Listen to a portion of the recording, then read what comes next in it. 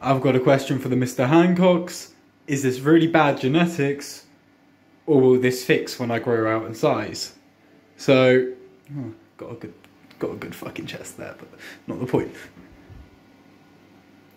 Mr. Cock here, and no, this is not bad genetics. If anything, this is pretty good for someone who has never lifted before.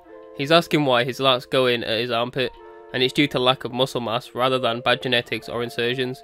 This guy is around 3 days into lifting, and is already wondering if he has bad genetics.